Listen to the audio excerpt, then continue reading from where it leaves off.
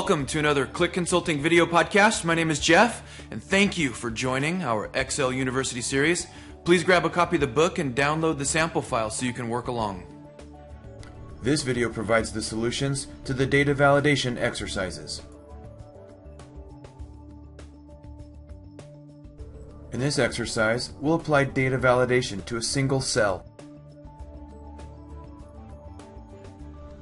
If we examine the meals and entertainment amount cell, we'll notice that a user is allowed to enter anything into the cell.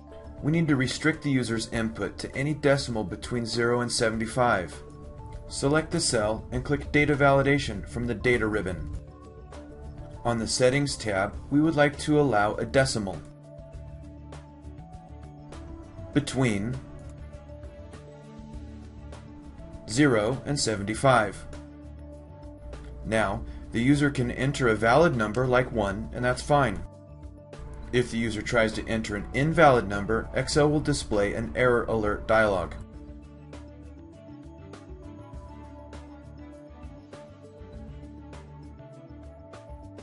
In this exercise, we'll apply data validation to the department input cell. If we examine this cell, we'll notice a user can enter anything. They can even enter a department number that doesn't exist. We'd like to ensure that the user can only enter valid department numbers, so we select Data Validation. In this case, we'd like to allow a whole number between 100 and 999. We'll define the input message on the Input Message tab.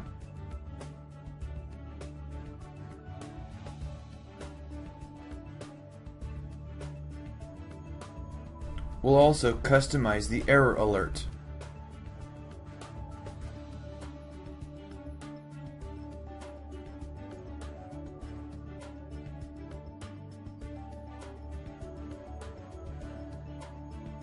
When the cell is selected, Excel displays the input message. If an invalid entry is made, Excel displays the error alert.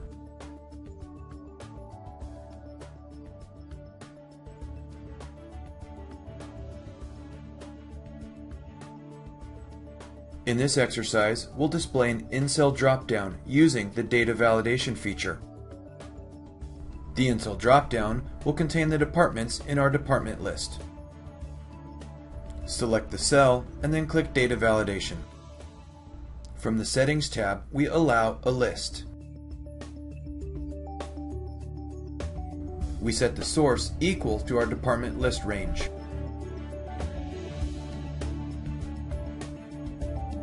Next, verify that the in-cell dropdown contains the proper list of choices. Providing an in-cell dropdown is one of my favorite uses of the data validation feature.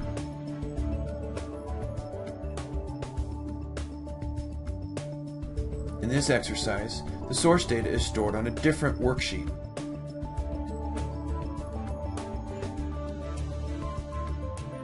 We need to set up data validation for the client column and the employee column.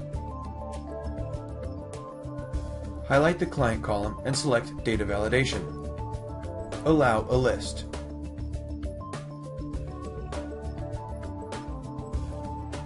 Set the source equal to the client list found on the support worksheet. The in-cell dropdown should contain our list of clients.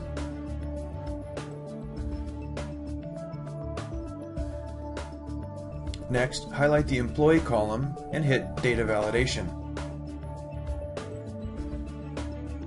Allow a list and set the source field equal to the employee list found on the support sheet. Verify the in-cell dropdown contains a valid list of choices.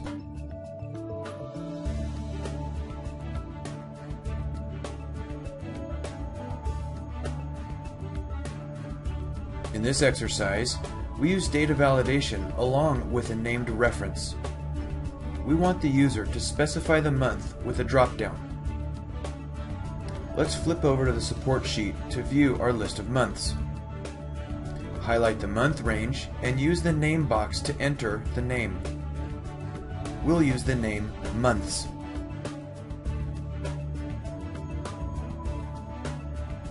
Back on the exercise sheet, select the input cell and then data validation. Allow a list and set the source equal to the name months.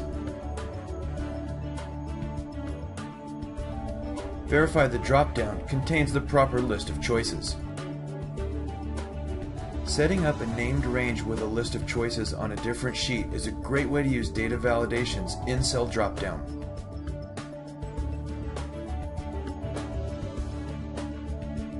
In this exercise, we'll use a table to store our list of choices. We'll use data validation to set up an in-cell dropdown for the rep list. The list of reps is stored on the support sheet. Convert this ordinary range into a table by selecting Insert Table. Check My Table has headers and then click OK. Name the table TBL underscore reps. Next, set up a custom name by using the Name Manager feature.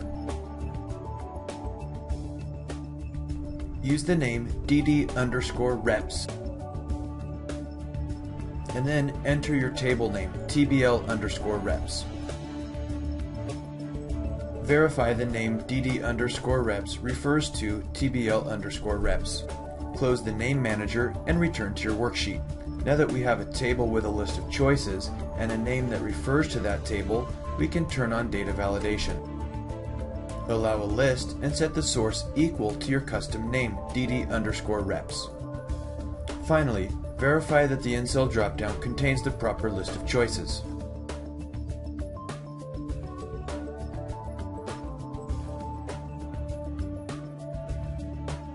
Since we used a table, and tables auto-expand, it's easy to add a new rep to our list of choices. The newly added rep appears in our in-cell dropdown.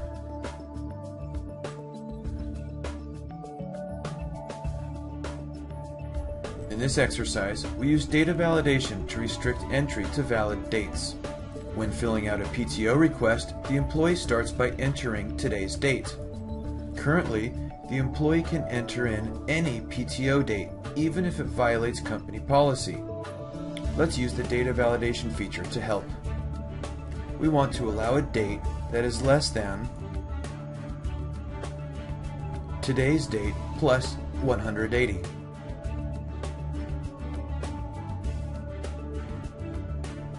We set up an input message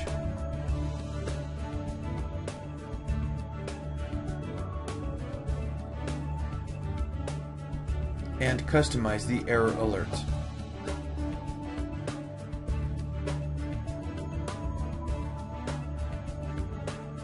Excel should now allow an entry within 180 days or 6 months of today's date. An entry out of this range generates the error alert.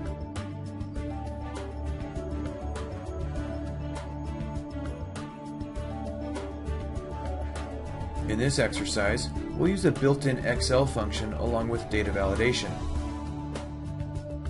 We want to allow a date that is less than or equal to today's date as computed by the built-in worksheet function today plus 180 days.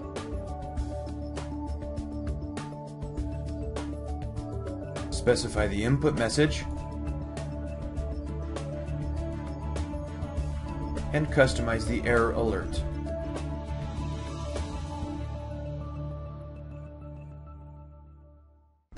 Entry of a date less than or equal to today's date plus 180 is accepted. A date entry outside of this range generates the error alert.